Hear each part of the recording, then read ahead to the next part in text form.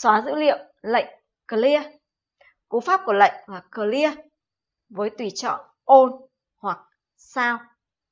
Clear xóa tất cả dữ liệu và các nhãn giá trị khỏi bộ nhớ. Nếu dùng clear on hoặc clear sao sẽ xóa toàn bộ dữ liệu nhãn giá trị, các mai trận, các biến vô hướng, các kết quả được lưu trữ từ các lệnh được thực hiện trước đó, kể cả các biến mảng vân vân các bạn khỏi bộ nhớ, tức là làm sạch bộ nhớ một cách hoàn toàn. Tiếp theo để bỏ bớt một số bản ghi, một số biến khỏi tệp dữ liệu đang mở, chúng ta sử dụng lệnh drop, cú pháp của lệnh drop với điều kiện if biểu thức hoặc drop in khoảng quan sát và với điều kiện if nếu có. Nếu các bạn muốn sử dụng menu, hãy vào menu, sau đó chọn Data, chọn Create or Change Data, chọn tiếp Drop or Keep Observations. Với lệnh Drop này, các quan sát sẽ được loại bỏ, bỏ đi khỏi dữ liệu đang mở khi thỏa mãn điều kiện sau if và thuộc khoảng quan sát sau in. Các bạn lưu ý số quan sát được bỏ bớt sau lệnh này sẽ được lưu ở biến vô hướng R đóng mở ngoặc N lớn gạch dưới drop. Các bạn có thể lưu biến vô hướng này thành một biến khác để sử dụng trong các tệp u file, trong các tệp chương trình hay chương trình con hoặc các lệnh sau đấy nếu cần. Drop để bỏ bớt biến có cú pháp là drop valid danh sách biến. Nếu các bạn muốn sử dụng menu, hãy vào menu, chọn Data, chọn tiếp Variable Manager. Lệnh này sẽ bỏ tất cả các biến trong danh sách biến khỏi tệp dữ liệu đang mở.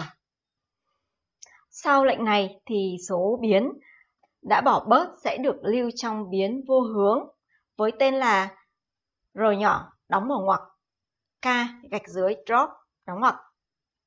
Các bạn có thể lưu giá trị của biến vô hướng này thành một biến khác để sử dụng trong các lệnh sau hoặc các chương trình, chương trình con. Nếu chúng ta dùng drop all tương tự như lệnh clear, sẽ xóa khỏi bộ nhớ toàn bộ dữ liệu các nhãn giá trị. Nếu chúng ta không muốn bỏ bớt mà chúng ta lại muốn giữ lại một số biến hoặc là một số quan sát thì chúng ta sẽ sử dụng lệnh keep.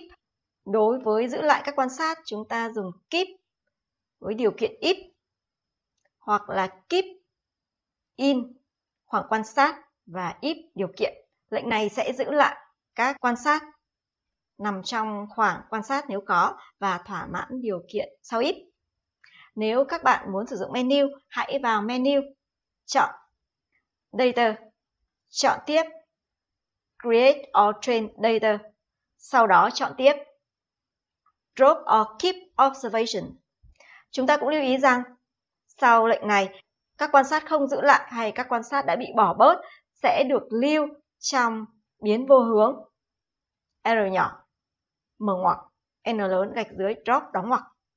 Các bạn có thể đổi tên hoặc lưu vào một cái biến khác để sử dụng ở những cái lệnh sau hoặc những chương trình chương trình con sau nếu cần. Tiếp theo để giữ lại một số biến, chúng ta sử dụng keep và list Nếu các bạn muốn sử dụng menu, hãy vào menu, chọn Data, chọn Variable Manager. Cũng lưu ý rằng số biến đã bỏ bớt hay không được giữ lại sẽ được lưu trong biến vô hướng R nhỏ đóng mở ngoặc K gạch dưới drop. Các bạn có thể lưu thành một biến khác để sử dụng trong các chương trình hoặc các lệnh sau đấy nếu cần. Và đây là các video có thể hữu ích với bạn, các video ngắn về xây dựng. Video mà YouTube gợi ý cho bạn và các video về lệnh CT cần thiết